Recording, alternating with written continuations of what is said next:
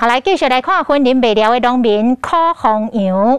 六年前回到婚林种蒜头，为了要解决欠耕的问题，伊引进到种蒜头的机器，用一年时间来研究甲改良，即卖已经会当顺利来运作来种蒜头。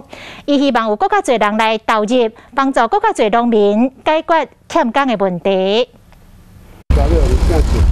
最近是开始种蒜头的季节，毋过农村因为人口外流、有高龄化、欠人的问题，互农民头壳真痛。未少人开始四界走动，找办法来解决。未了一个农民靠红牛六年前才倒来分林，喊厝内做伙种蒜头。伫去年引进一台种蒜头的机器，都无得请人啊，人老了，啊，少年的无好起。蒜头播种机，伊顶年七月才开始，七月中才开始卖，啊，我八月初就入啊，会当算讲台湾算南部数一数二的。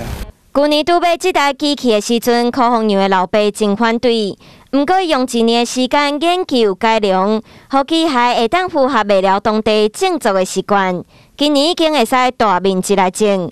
毋过机械也无法度做到百分之百，伊要是继续来改进，希望未来帮助更较侪请无工的农民。